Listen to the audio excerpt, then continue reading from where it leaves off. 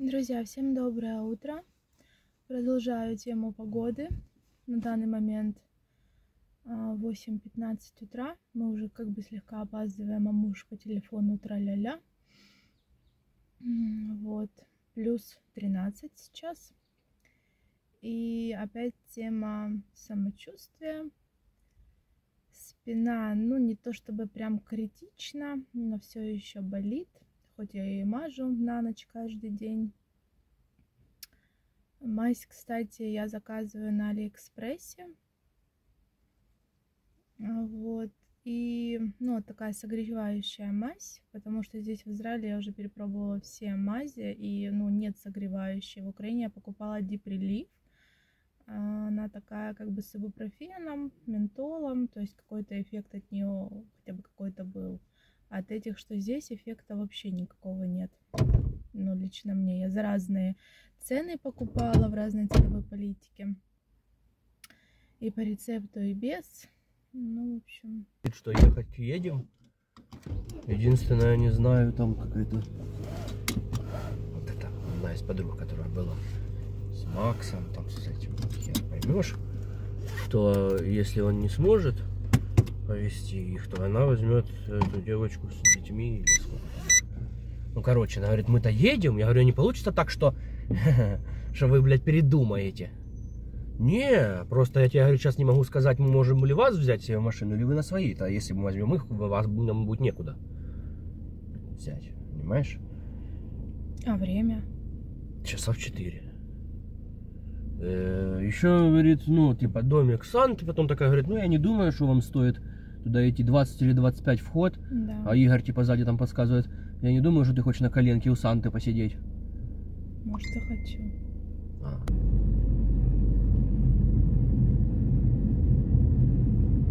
Так что, отменять, да? Я не очень понимаю, что от меня требуется. Или что? Или мы потом поедем сами? Нет? Да, сами мы поедем. Это одно на коленке у Санты, вторая елка и еще что-то там. Забыл, как она назвала. Не, ну я в том году, еще помнишь, когда мы с Танькой ездили, в общем, с малым ее, что мы хотели в домик Санты, но уже на подъезде в Иерусалим а, мы посмотрели расписание этого Санты. Э, И, короче,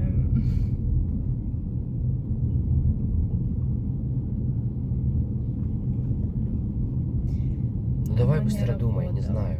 Тут и короче, короче, не короче. Я-то понимаю, что я ради тебя готов пожертвовать рыбалкой. Но, Ну вы видели, всё, какой ну у меня всяко. муж щедрый? но все равно. Ради меня он готов пожертвовать рыбалкой. Это святое.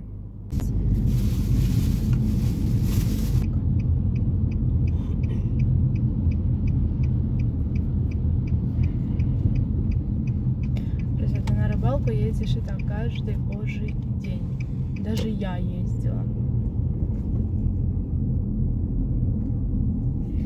Умолять и упрашивать, скажем так, я не буду. Еще чего не хватало. Так, ну что ж, друзья, посмотрим, какие у нас сегодня будут в этом смысле планы. На самом деле я даже не знаю. А, Домик Санты, конечно же, это больше для детей, естественно, даже не то, что больше, а это как бы логично. А, Ну, естественно, взрослые туда с детьми. А, Посмотрите, какие сандали стоят. Кому надо? Такие гламурные. Так вот. Но также я знаю, что едут экскурсии. На самом деле нам не раз высвечивались экскурсии а, на Фейсбуке, да, группы есть, которыми мы пользовались неоднократно. То есть разные экскурсии, разные поездки. И недавно муж мне сам предлагал, типа, говорит, вот тут есть экскурсия, по-моему, 165 шекелей с человека в Иерусалим, и все то же самое, типа елка, Санта, эм, но уже вроде как с входными билетами. Потому что если едешь сам, то, естественно, входной билет ты будешь платить. И вроде как... Так, сорян, ребят. Тут звонок на урок в школу.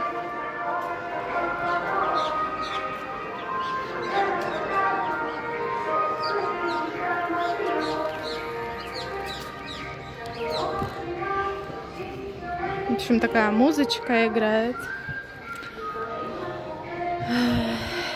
Короче, я говорю, ну да ну, на двоих это как бы, если даже вот, да, по 170 или 175. Короче, у каждого по-разному. У кого-то 165 экскурсия, у кого-то 175. Но как бы на двоих, говорю, э, не знаю, стоит ли оно того. Когда мы ездили экскурсией в Иерусалим по 130 шекелей с человека, э, меня это устроило, потому что мы посетили те места, которые я давно хотела. Это, кстати, первое мое видео на канале. Поездка в Иерусалим, храм гроба Господня, Богородицы. А, вот, и мне безумно понравилось, потому что когда мы ездили сами до этого два или три раза в Иерусалим, мы нигде не были, потому что мы ничего не нашли. И я потом на самом деле так удивилась, особенно храм гроба Господня, как мы могли его не найти, если это там было все рядом. Ну, в общем, мы как обычно.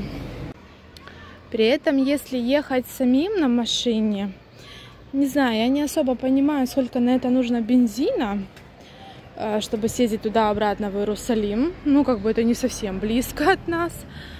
А, плюс парковка платно. Что-то мы, естественно, не знаем, почему я э, в Иерусалим с мужем как-то... Но мы ничего не найдем. Он через полчаса начнет психовать и говорит, поехали домой.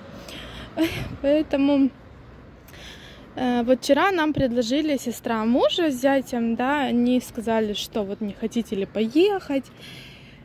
И я такая вроде и хочу, но вроде как и не знаю, потому что, опять-таки, повторяюсь, э, домик Санты, но это для ребенка, конечно же, больше.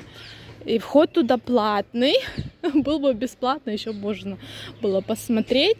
И в экскурсии написано, что в цену входит этот домик Санты, да, посещение билет, так сказать. А вот Глинтвейн, который там можно выпить на минуточку, чтобы вы понимали, Глинтвейн в доме Санты, вообще по-детскому, ну так, чтобы родителям было не скучно, пока дети там сидят на, колено, на, на коленях у Санты.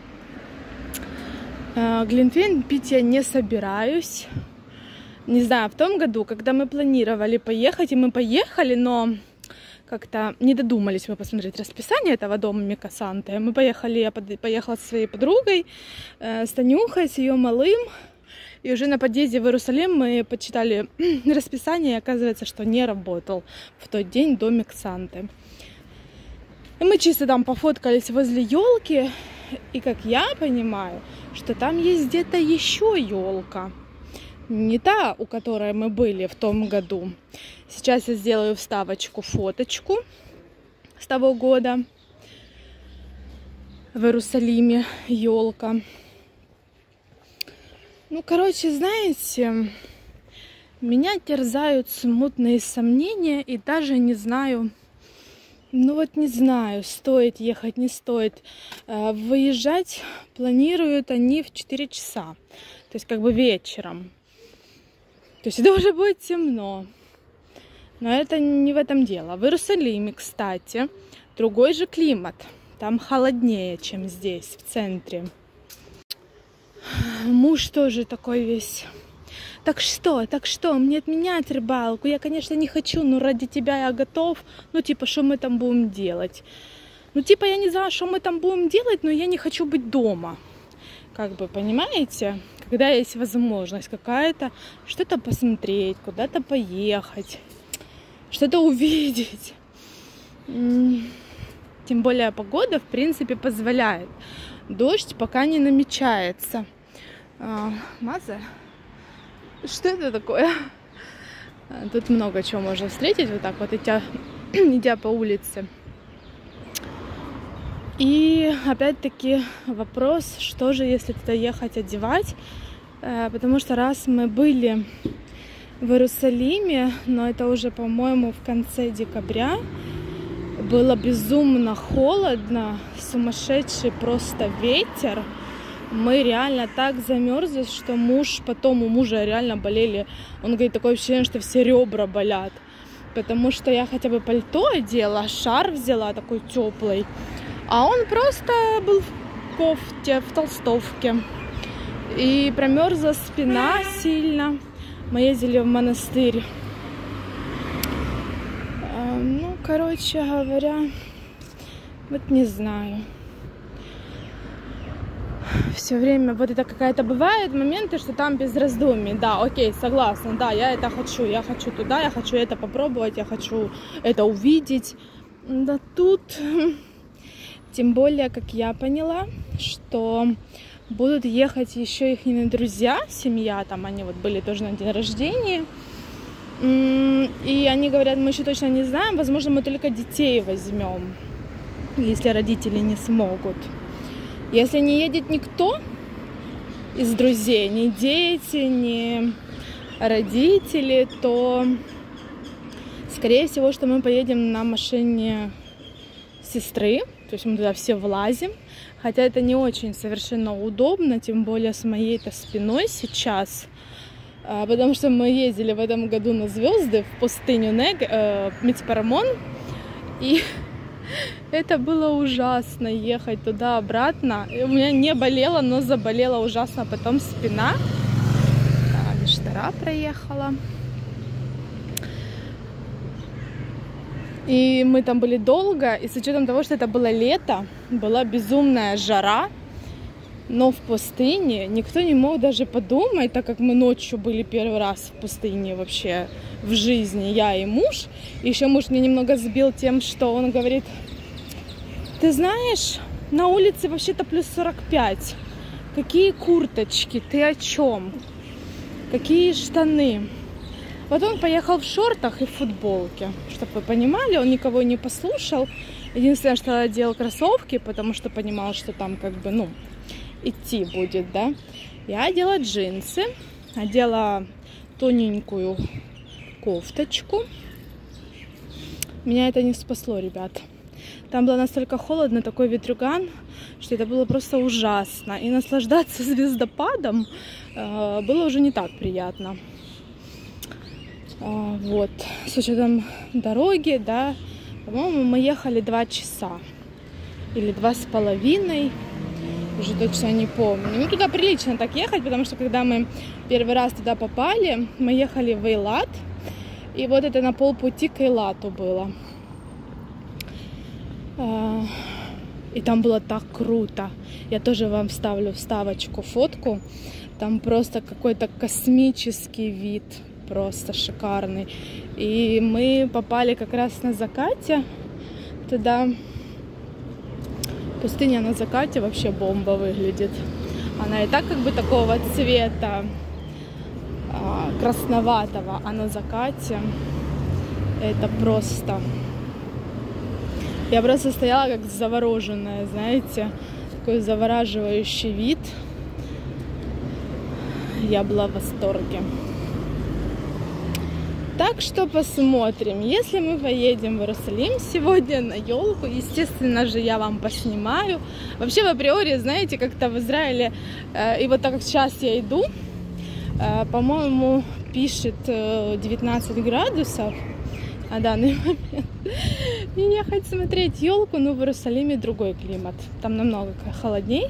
То есть там и днем, как бы, по-моему, максимально сейчас плюс 16 а вечером даже взять то, что вчера вечером, когда я выходила, то я посмотрела погоду, было написано у нас плюс 18. И, ну, как бы я сравнила ощущения. Думаю, ну, вроде не так уже и катастрофически холодно. Но там в априори климат немного другой. Поэтому эти же плюс 18 там по-другому ощущаются, чем здесь, в центре. Так, наверное, сейчас я зайду в манию, посмотрю, Ой, блин, а как мне эта готовка? Не знаю, наверное, возьму я куриное филе и хочу сделать, так сказать, запеканку. Картофель, сыр, мясо. А, Вот. Сейчас посмотрю. Да, ребят, что-то я не подрасчитала. Нагребла я, короче, как говорится, по-богатому. Ты только там аккуратно ра- не разбей.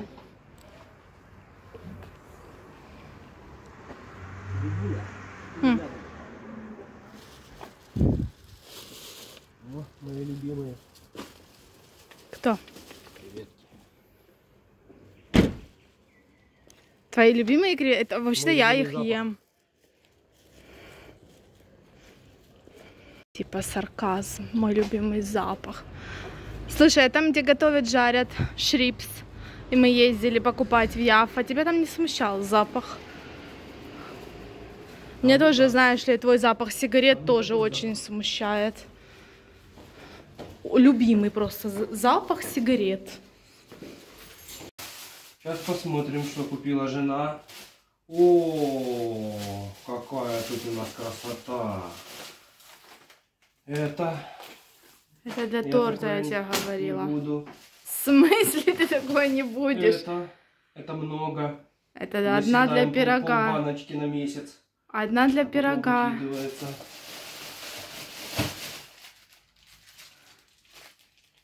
Оф. Шоков. Ладно, пускай будет. Это что? Это масло. Масло. То есть то, что там пропадет, это не страшно, да? Вот такой кусок. Оно не пропадет, мне в крем надо. М. И опять это. Ну и две надо. И две надо. Там мало просто. То есть вот тут. Вот это. Это что? Это креветки. Мусор. Свежезамороженные. Сразу в мусор ложим. Причем, дай, дай, подожди, я покажу. А я извиняюсь, э, вот это кто купил? Это я купила. Будешь три месяца бесплатно работать. Креветки, значит, это свежезамороженные, это не варено мороженое, это свежезамороженные, вот такие вот большие. Ну, как бы Новый год идет, все такое. Да. А вот и корочка, значит, я взяла тут полкилограмма. Мифца была. Не, подождите, это так не работает. Мевца была? А не мевца. В смысле? В прямом смысле. Чё? Обманщики. Кто? Тут полкилограмма. Я хочу икру красную. Прохладно. У тебя, между прочим, блок сигарет столько стоит, если А, что. да? Угу. Хорошо. Да. А что, не так? Вот скажи. Блин, а тут написано горбуши. В смысле, ло- лососевая зернистая горбуши. Московский рыбокомбинат. Блин, ну я не знаю. Я захотела и купила. Была мифца. Все. Такой был обзор от мужа сегодня. С его возмущениями. Ну что ж, ребята, мы едем в Иерусалим на елку, новогодний Иерусалим. Так что продолжение будет в следующем видео. И будет также в том видео в следующем э, рецепт ленивого Наполеона который я уже приготовила, и он в холодильнике, но пробовать мы, естественно, его будем завтра.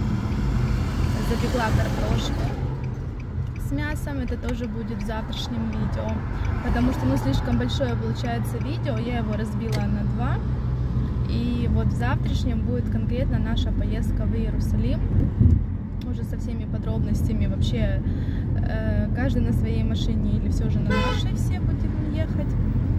Так что всем большое спасибо за просмотр, за ваши комментарии. Подписывайтесь, ставьте лайки. И всем пока-пока до завтра.